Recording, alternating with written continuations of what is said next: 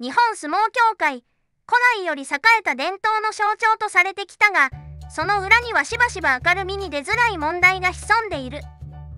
最近では元城大鳥として知られる宮城の親方の問題が相撲界に衝撃を与えている。一部の協会幹部は彼を追放しようとしているがそれに対して厳しい批判の声が上がっている。ではその背景にはどのような事情があるのだろうか。宮城の親方は元城大鳥として相撲界に名を馳せたが彼の過去には問題が多かった。彼が監督責任を怠ったとして2階級降格処分を受けたのはその一例だ。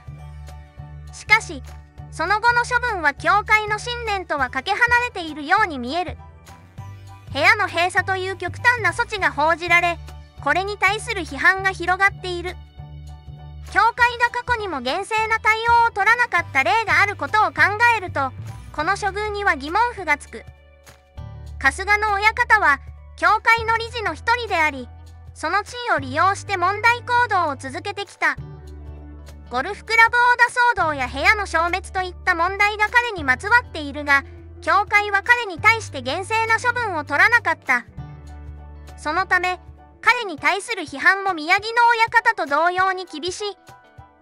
教会が一貫した基準で対応していないことが問題の根源の一つと言えるだろう。花籠親方もまた部屋の経営難に関連した問題を抱えている。彼の部屋は閉鎖に追い込まれその背景には不適切な指導や経営上の問題があったとされる。このようなケースは相撲界全体における指導者の責任と協会の組織的な問題を浮き彫りにしている。相撲協会はこれまで多くの問題に直面してきた。しかしそれらを解決するための明確な取り組みが見られない。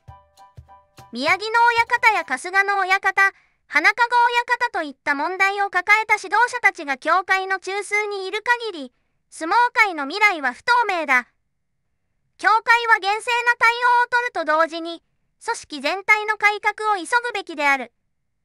そのためには透明性と責任の明確化が必要不可欠だ